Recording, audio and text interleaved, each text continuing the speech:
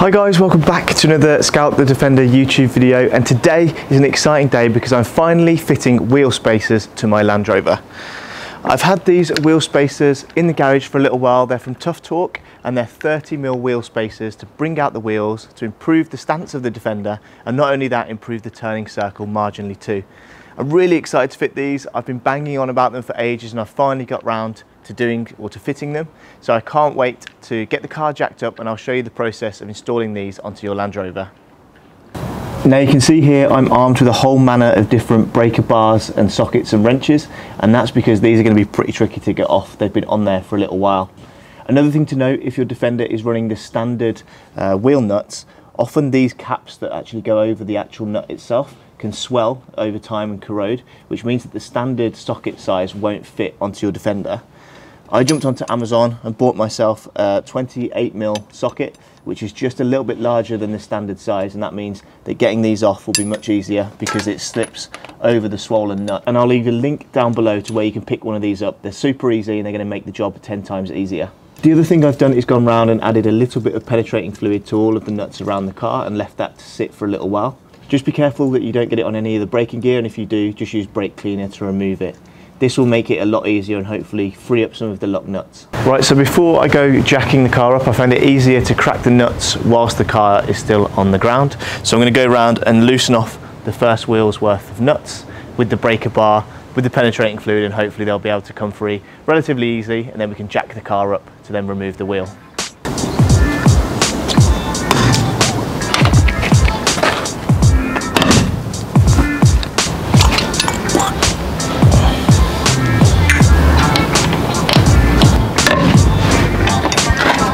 Right, now we've got all five of those nuts cracked and slightly loosened off, I can now jack the car up and we can remove the wheel.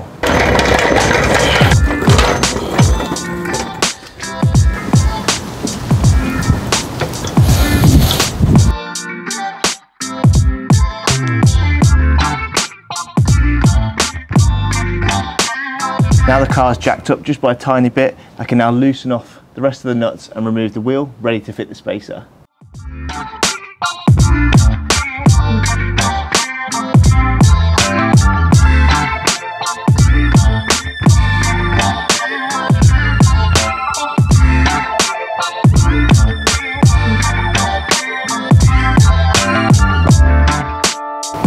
Now that the wheel's removed, I can clean up the hub. Uh, we don't want any dirt or grime getting in the way of the hub and the spacer. So I've got a few things. I've got uh, an attachment for my drill, which I can clean the wheel hub off with. I've also got a couple of brushes as well to get into the finer pieces. So we can clean that all off and then add a bit of brake cleaner over the top to clean the wheel. We can also do the back of the wheel too to ensure there's no grime going to get in the way of the wheel and the spacer too.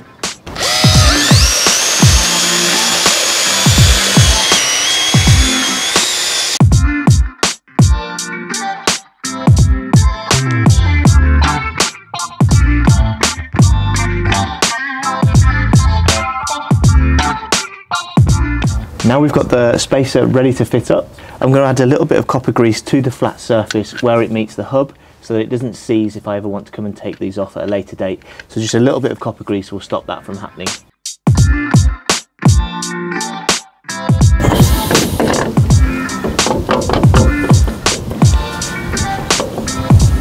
Now the hub's mounted, or at least attached to the hub itself, I can now undo the bolts that it came with to reveal the studs that the wheel is going to mount on and I can attach these to the studs in the holes and we'll torque those up to the same torque settings as you would the normal car settings. Now when we go to tighten these up we'll do them in a star shape to ensure that they're all tightened so we'll go from here down across in the star pattern again with my torque wrench so I know that I'm torquing them up to the right spec.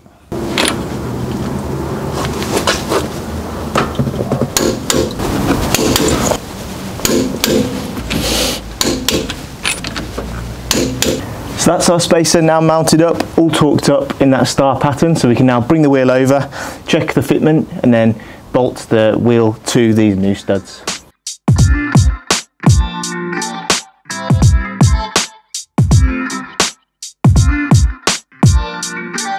So that's the wheel on now. The nuts are loosely torqued up. I'm going to drop it down now and torque it up. I have made one mistake though, because I was in such a rush and I was so keen to see what it looked like with the spacers on. I've forgotten that I had black wheel nuts ready to replace the old wheel nuts. So I'm going to torque it up anyway, drop it down, see what the fitment looks like. Then I'll jack it back up and replace them with the black wheel nuts and remember to do the same on the other three wheels. So let's drop it down, torque it up and see what it's looking like. So after completing that wheel with the silver wheel nuts, I've now gone and got the black wheel nuts that I intended to fit. So I'm going to now swap those out and then we'll have a spaced wheel with the intended black wheel nuts, which I think will look really smart and set off the look and finally got rid of those silver wheel nuts that I've been hanging on to for far too long. So let's go and do that.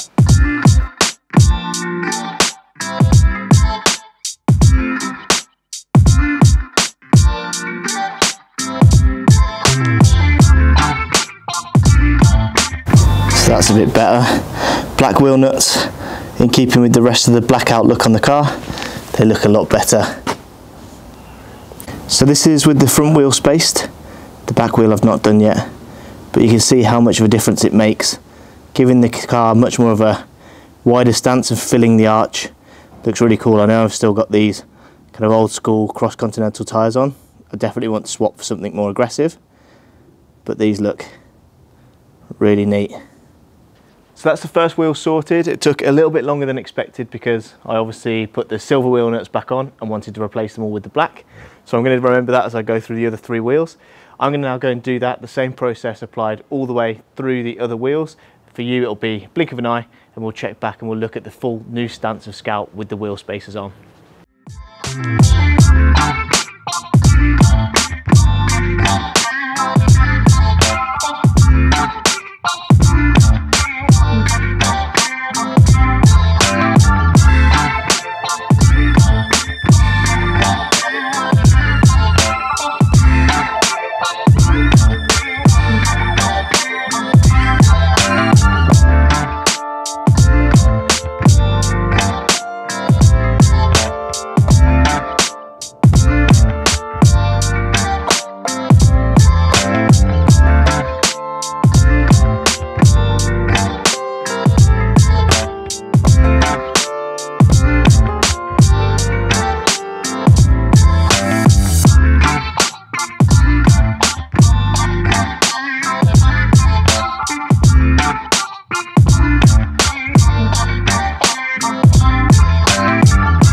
That's all four wheels now spaced.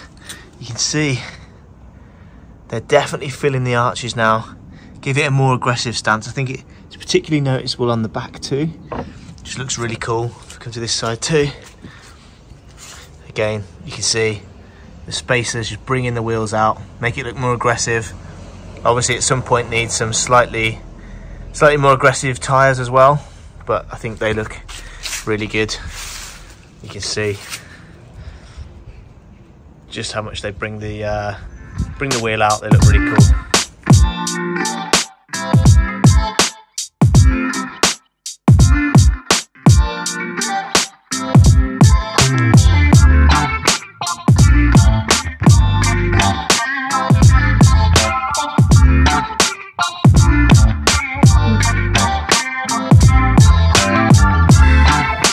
So there you have it guys, they are the wheel spacers all fitted up. I think they look much more aggressive. They give Scout that wider stance and I'm sure when I combine those with a more aggressive wheel tread, they'll look really great. Also the black wheel nuts, something again which I wanted to swap out for so long. I'm glad I finally got round to doing that.